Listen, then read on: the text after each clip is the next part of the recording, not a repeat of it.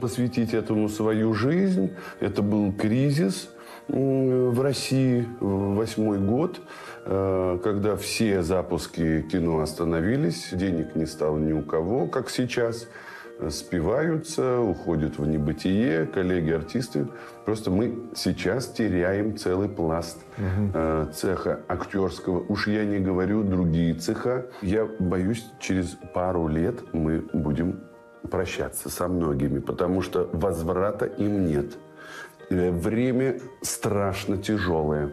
Люди за копейки готовы сниматься в эпизодах хоть кому-нибудь, у кого-нибудь. Сериалы вот и есть, но до того доходит, что человек, если получал, ну, грубо говоря, несколько лет назад 100 э, рублей, то на сегодняшний день этому артисту предлагают 10 рублей.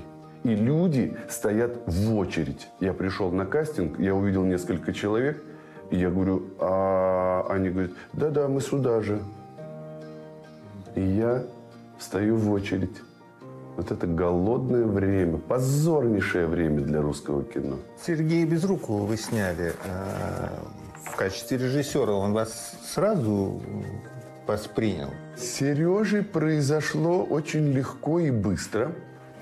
Он очень э, так по-дружески сказал, э, когда я согласен.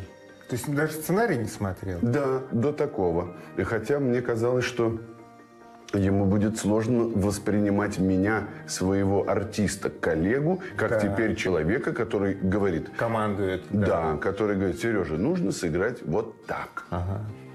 Вот. И, и он умница, он беспрекословно воспринимал все, что я говорил, исполнял, делал, и э, это была большая радость для режиссера. Вот я и приехал. С праздником. Я был, конечно, раньше приехать. Но я как-то все был занят. Дела какие-то. Суета какая-то. Все.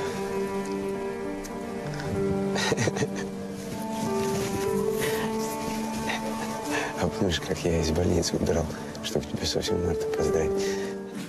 А в дальнейшем э, он позвонил мне и сказал, Дима, я стал художественным руководителем mm-hmm. губернского театра, yeah. я делаю свою первую постановку, э, я прошу тебя в этой постановке сыграть одну из главных ролей. И я также сказал, хорошо.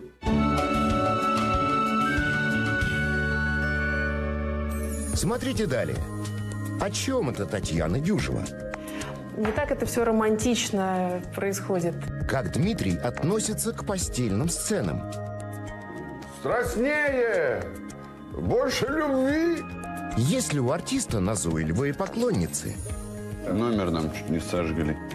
И чем Евгению Додолеву удалось удивить Дмитрия Дюжева? Гениально!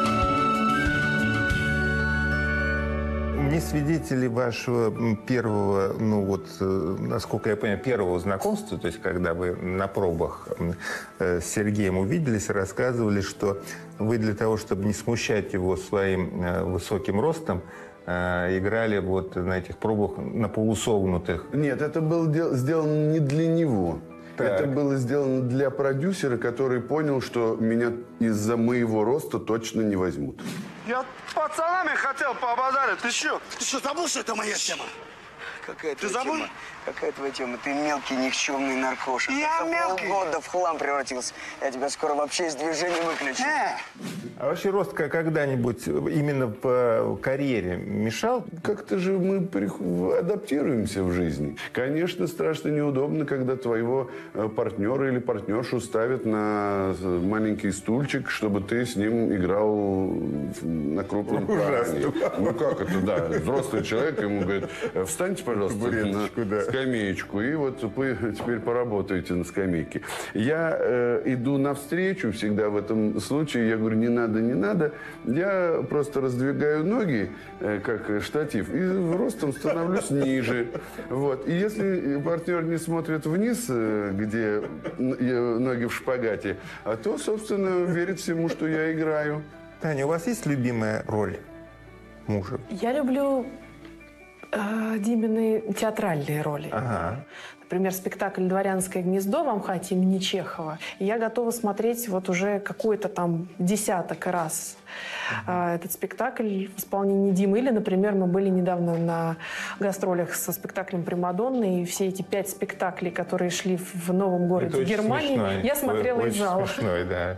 Таня, вот муж, когда работает над ролью, актер же, он же должен ну, погружаться в образ. Вы прям видите, что меняется, что это уже не муж, а вот Клавдий, там, условно говоря, или нет такого эффекта? Только на сцене, дома нет.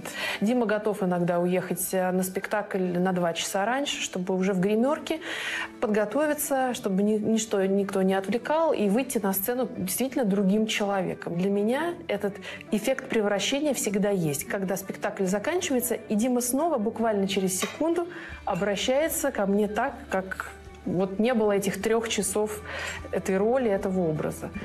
Как ему так быстро удается переключаться, я не знаю.